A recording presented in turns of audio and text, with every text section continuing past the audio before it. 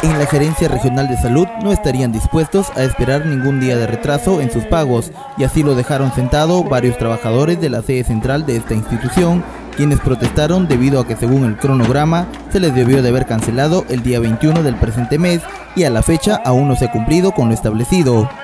A que todos los trabajadores de la Gerencia Regional de Salud, tanto sede como centros y puestos de salud, estamos impagos, pese a que de acuerdo al cronograma de pagos debería haberse realizado el día jueves 23 de enero, conforme lo señala este cronograma.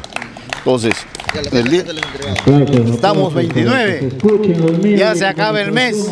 El dirigente de estos trabajadores señaló que no sería la primera vez que atraviesan por esta lamentable situación y culparon de este hecho al actual administrador, quien el año pasado por una presunta negligencia estuvieron por varios días sin poder cobrar, afectándose cada una de sus familias. Entonces no vamos a permitir eso. Una persona que realmente no merece estar en un cargo por estas actitudes que está creando el caos laboral, entonces debe ser de inmediato cambiado.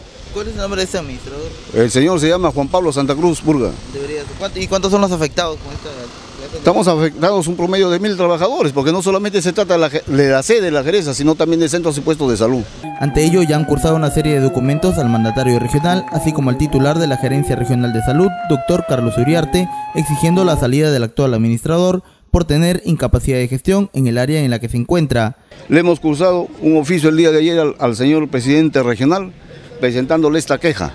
Y ahora también lo hemos hecho al señor gerente. Y ahora estamos exigiendo el cambio inmediato de este administrador porque ha actuado de una forma negligente y pareciera que lo ha hecho por razón de causa, por cuanto ha querido hacer ciertos cambios de personas que tienen registradas las firmas electrónicas en una fecha que estaba próxima a nuestros pagos. De no concretarse en las próximas horas la cancelación de sus remuneraciones, los trabajadores señalaron que podrían iniciar una serie de medidas más contundentes.